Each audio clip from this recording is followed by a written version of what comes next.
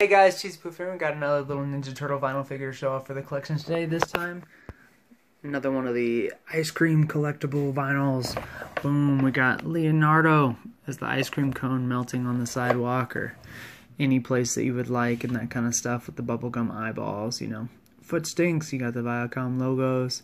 This is a CultureFly uh, exclusive and that kind of stuff that came out with the little Nick boxes. You got one of these and each of those cases and stuff. But I'm going to pull Leo out so you guys can see him up close.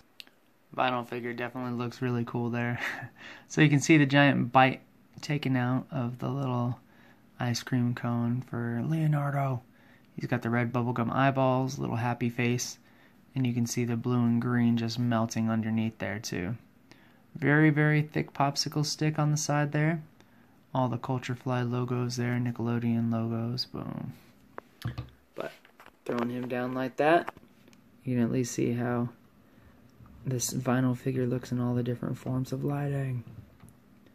Pretty cool though, huh? So let me know what you guys think of the Leo popsicle. And with that being said, that's it for this time. Hope you guys enjoyed, and I'll see you later.